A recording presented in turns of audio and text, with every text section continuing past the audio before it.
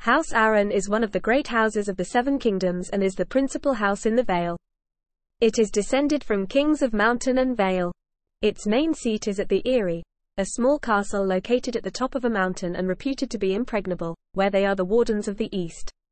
Its coat of arms displays a white moon and falcon on a sky blue field, and its words are as high as honor. Bastards born in the Vale are generally given the surname, Stone. Jon Arryn was the head of the Arryn family until he was poisoned shortly before a Game of Thrones. His only child, Robert, Sweetrobin, Arryn, became Lord of the Vale with Lysa Tully acting as regent.